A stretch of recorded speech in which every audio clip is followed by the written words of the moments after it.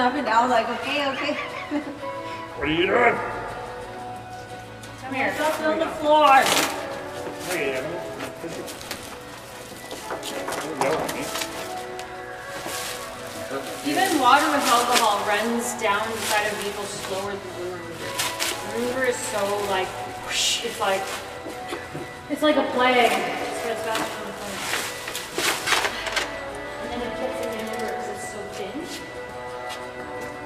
It's, it's not as viscous as water, which is weird to say.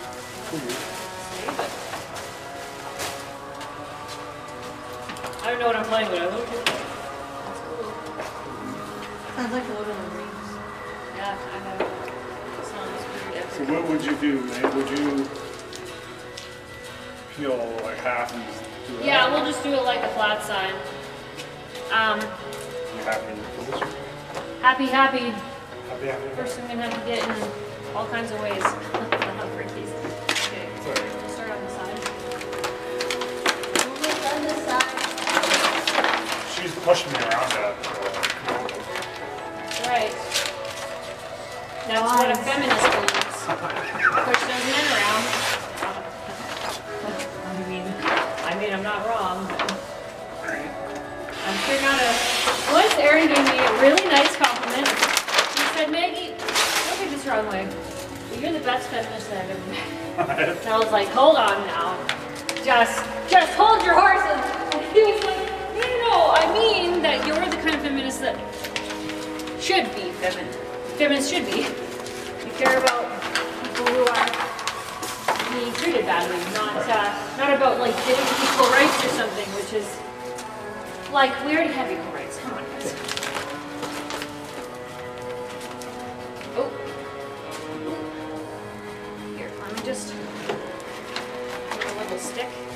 Sure we're good.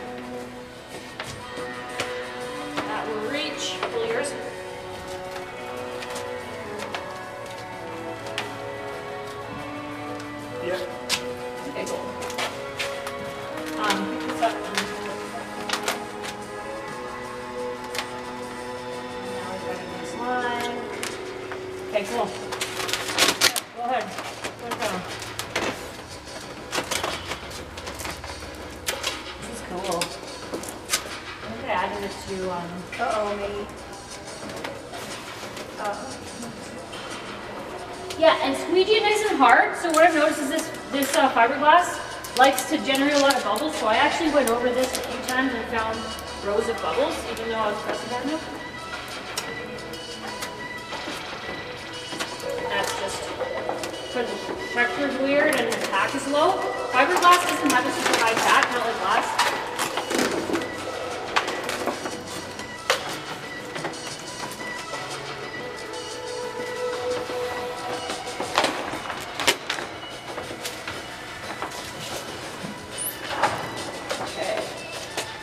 This up high. And uh, see, the shape is going to be a pain, but I'm just going to lift it from the middle. Whenever you touch vinyl with your fingers, try to make sure your hands are clean, and also spread your fingers out instead of just like Can you hold holding it all in one spot, so that you're you're not adding too much stretch. Like, hold it like in here. So,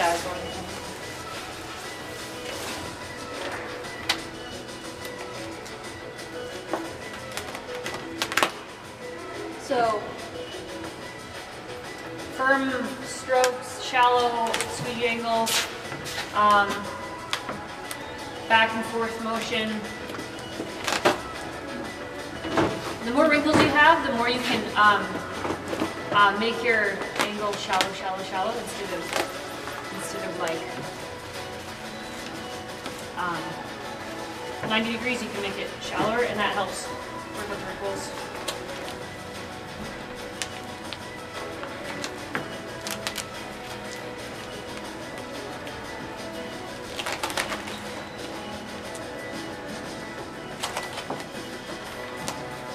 Yeah. So you have all this tension because it's a it's a slightly curved surface. Which you don't realize until you start. You don't yeah, you don't always realize just how dramatic or pervasive a shape is until you realize what it does to a 2D object. Yeah. And then you're like, oh.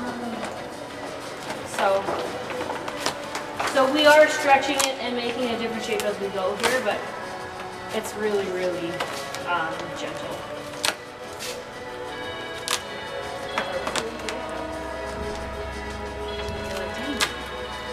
Show me something. And also, um, see all of these um, tension lines? If I'm pulling in like in a wrapping stretch, I can pull that out into a glassy surface. I'm going to just do it as I go. So just pull it. Yeah. Are you left-handed? No. Yeah, Anyway, so, so okay, if you're uh, uh, pulling triangles, if you have a line uh, coming this way, see this wrinkle is unhappy, um, pull a triangle like this in the perpendicular motion and you'll always pull it out, right? Oh, okay. That's, that's how you respond to wrinkles. Oh, shit. Sometimes I'm doing a, a kind of a C motion to work them towards myself. That out. Give it a little force. And um, the direction that you squeegee in will help. These horizontal lines.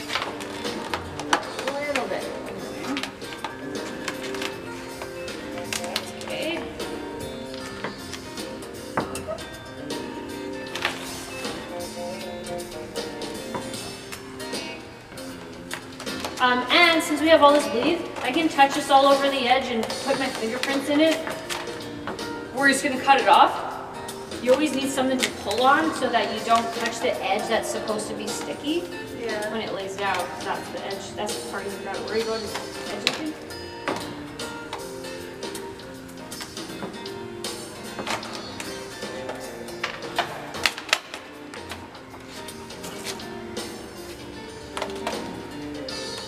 And we could have done this, it would have been easier with four people, but we could have done this just rip off all the paper and all pull in opposite directions so that it lays down like nice and flat. and I did yesterday. Yeah, that that's perfectly acceptable way to do it. It's very fast, but we have a really long ways to go. arms, Joe?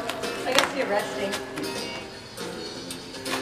So, and usually, usually I, I do something like this by myself. So I have to find out techniques that are reliable that I don't need four people for. Um, and when I worked for Dave, that was all the time. so.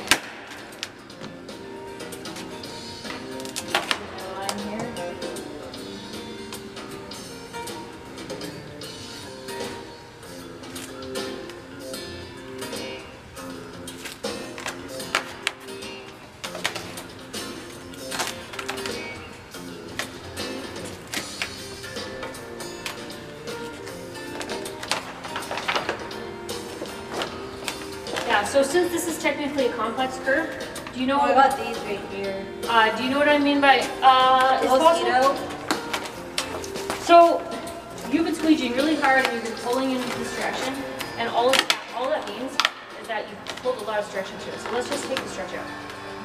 Uh, if you relax out a bit, you won't have as many wrinkles to deal with. And then you don't touch it for a minute or so. Um, just wait till it's nice and cool. Heating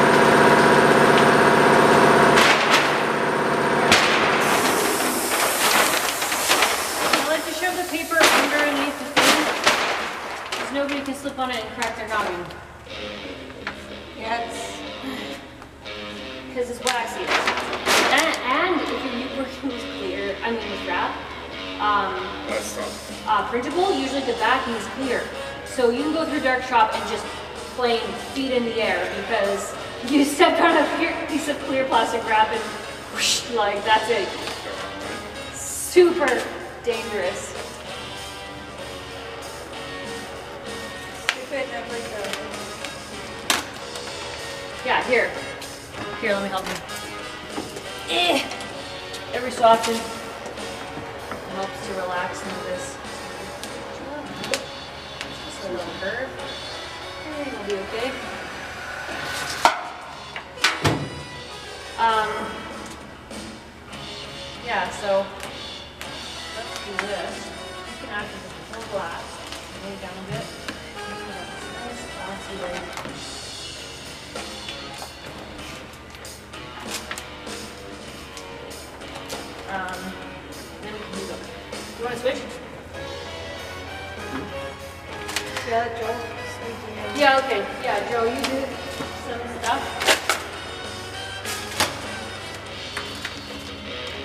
At this point, you can actually pull all your glass at once and squeeze it. Pretty much just squeeze it.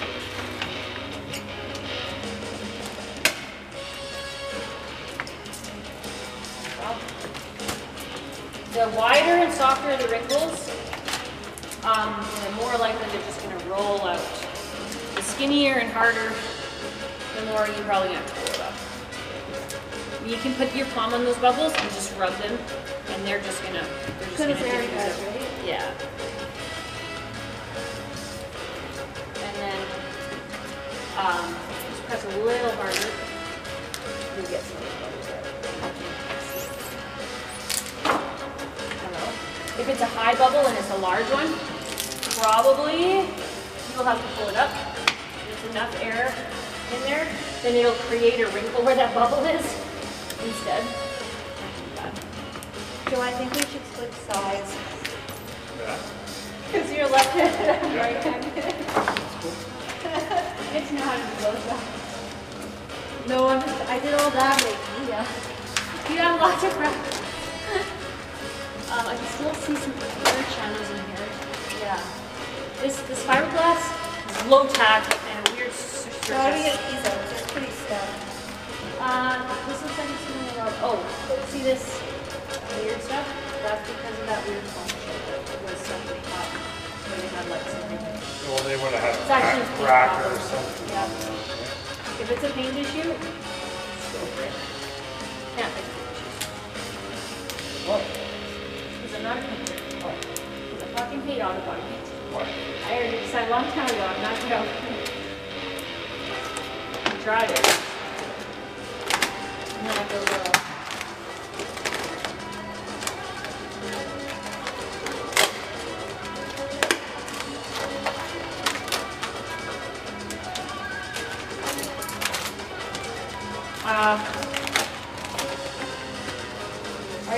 to do that, so I'm not gonna do it again.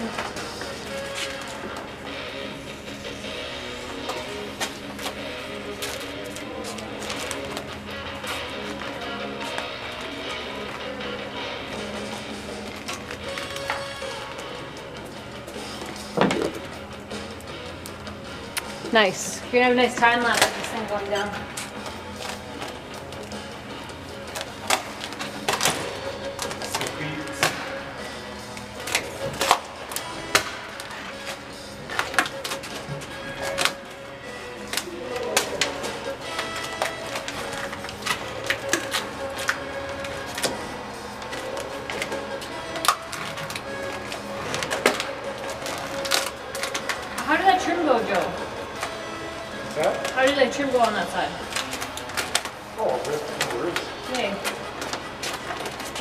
Trim, what are you talking about? The trim.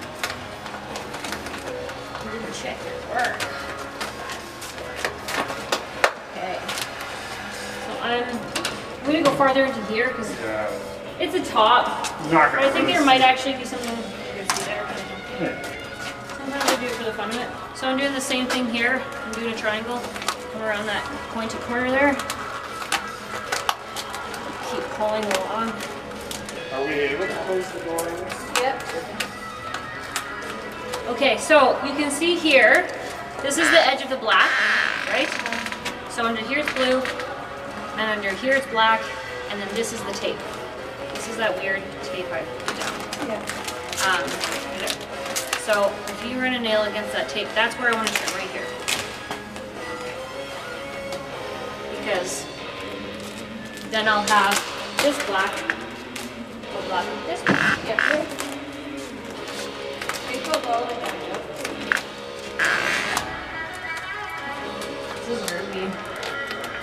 come across cool. So how do we do this, baby? Um, oh?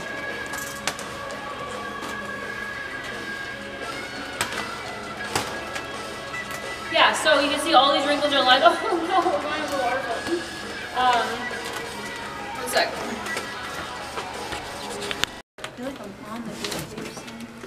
Yeah, you know, air in the air in the direction of going onto the table instead of off, because that's where less disasters will happen.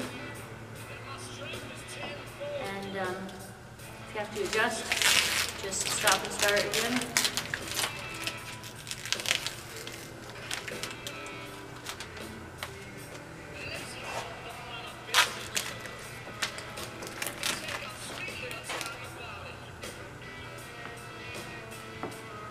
Is this Jack Wood? Uh, Dale would like get mad at me and he's like, you're cutting the tint like a deckler. Cutting what? The tint like someone who deckles. Like that's Well, it's because, like, look at this baby. This is a no. why? This is a yes when tint. Dale hated it. Because that's just how I'm used to cutting. It's like, Why? that Oh, I, it's about control, right? So, um, if you're good at controlling your blade, how you hold it. That's what I told him. I'm like, it doesn't much matter pressure how. I hold it. Yeah, He's like, yes, it does.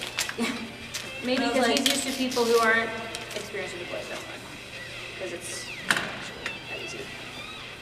But yeah, if you, if And you was know how like, to I control your need- depth, I was like, I need to, this is how I do it, and this is how I'm used to it. I was like, I go all over the place when I hold it. Yeah.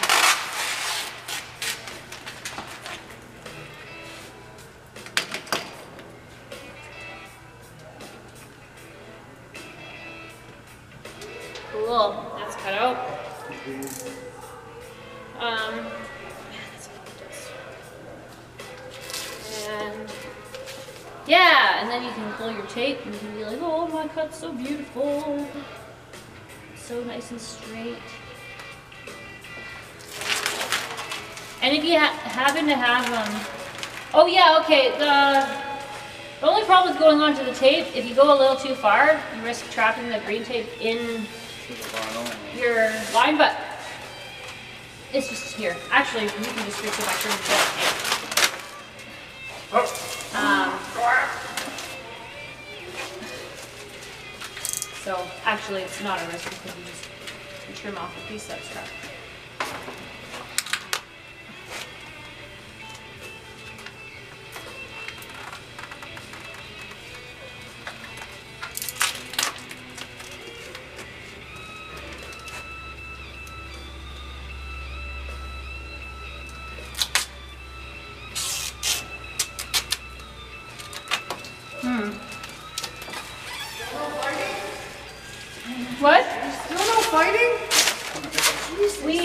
We, we fight quietly. Dude, you must. You fight with your hands, not with your mouth. Yeah.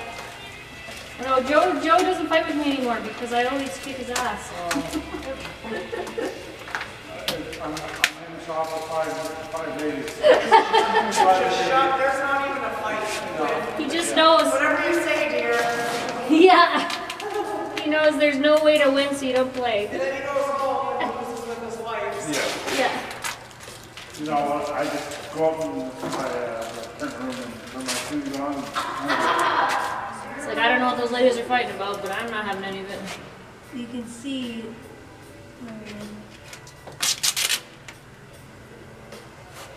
Yeah. Cutting twice is always a good day. Cutting the car by accident is always a bad day.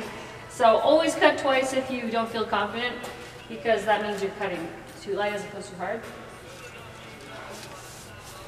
Um, or too far as opposed to short.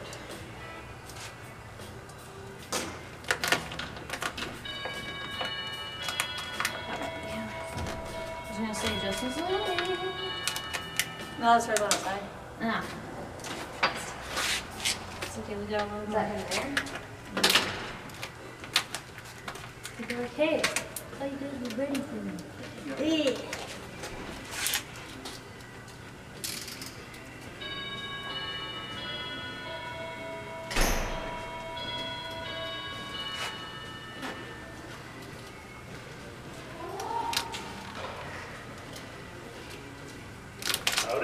Howdy,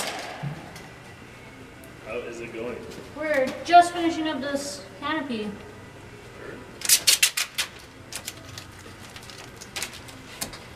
Okay, what?